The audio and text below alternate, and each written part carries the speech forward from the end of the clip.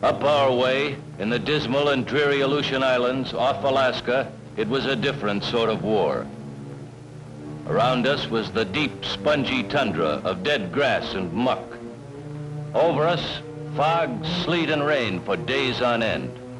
In spite of it, our 11th Air Force under General Bruce Butler not only protected Alaska from Jap advance, but also struck offensive blows at the enemy. We had a single fighter group of 100 planes, including P-38s. Our force was built around a handful of pilots experienced in Alaskan flying. Colonel Jack Chennault, son of the 14th Air Force commander, led a fighter squadron. Our strength at this time for the entire Alaska Aleutian area was only 226 operational planes.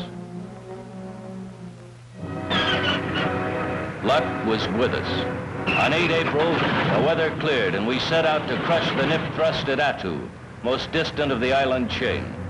We also helped the box in Kiska, the second enemy-held island, forcing the Japanese to withdraw. From flooded fields, we waded into the enemy.